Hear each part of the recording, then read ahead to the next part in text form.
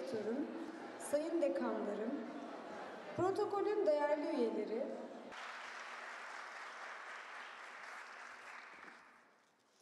değerli katılımcılar, şimdi sizleri Türkiye Cumhuriyeti'nin kurucusu,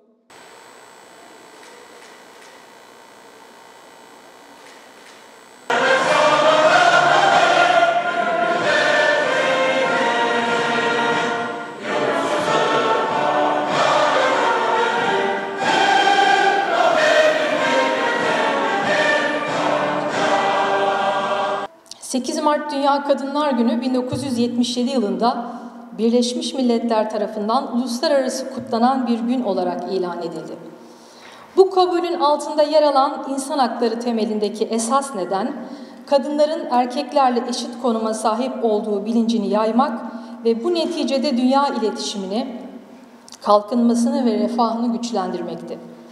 Oysa Dünya Ekonomik Forumu'nun 2020 cinsiyet eşitliği raporu göstermektedir ki, kadınların erkeklerle eşit haklara sahip olabilmeleri için en az 100 yıl, erkeklerle eşit ücrete sahip olması için geçmesi gereken süre ise 257 yıldır. Kadınlarımıza sahip çıkacağız.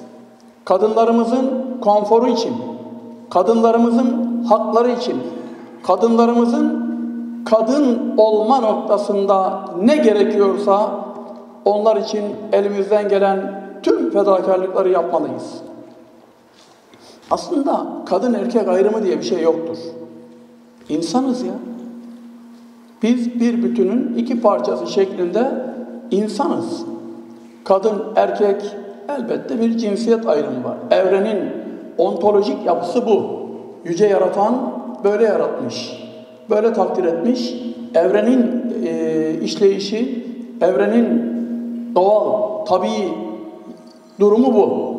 Onun için kadınla erkeği karşı karşıya getirmek tam bir cahiliye. Size birkaç dakikanızı alacağım çünkü hakkını yemeyeyim konuşmacıların. Cahiliyet döneminde kız çocuklarının diri diri gömüldüğü bir toplum yapısından kızları insan yerine gören, onları onlara haklarını sonuna kadar kadar veren bir inancın mümessilleriyiz biz. Diğer taraftan bir iki şey söylemem lazım. Kadına miras vermiyor adam. Utanmadan, sıkılmadan, haktan, hukuktan hiç endişe etmeden, ahlaken, manen, vicdanen rahatsız olmadığı gibi hukuktan da hiç çekinmiyor. Onun için ben kızlarımızın okumalarını, kızlarımızın akıllarını kullanmalarını, kızlarımızın bilinçlenmelerini, kızlarımızın güçlenmelerini sonuna kadar destekliyorum. Avrupa'da, Amerika'da ve Türkiye'de de boşanma oranları artıyor. Onun için biz bunlara da ne yapmayacağız? Erkeği düşman gözüyle görmeyeceğiz, kadını da düşman gözüyle görmeyeceğiz. Her ikisi insan. Biz hele eşler için bir iki şey söyleyeyim. Eşler birbirinin can yoldaşıdır. Olmazsa olmazıdır. Eşler birbirlerine sevgiyle, saygıyla, muhabbetle bakmalılar. Haklarına saygılı olmalılar. Ama eğer kadının hakkı ihlal ediliyorsa, kadına zulmediliyorsa, kadın dışlanıyor, ötekileştiriliyorsa işte orada kadının hakkını toplum olarak, millet olarak, insan olarak savunmak da hepimizin boynunun borcudur. Bu duygu ve düşüncelerle 8 Mart Dünya Kadınlar Günü'nün kutlu olmasını, hepimiz için hayırlı olmasını temenni ediyorum. Bir farkındalık, bir bilinç, bir e, farkına vararak kadına hak ettiği değeri verme noktasında bir hatırlama, bir bilinç oluşturması dileklerimle hepinize tekraren sevgilerimi, saygılarımı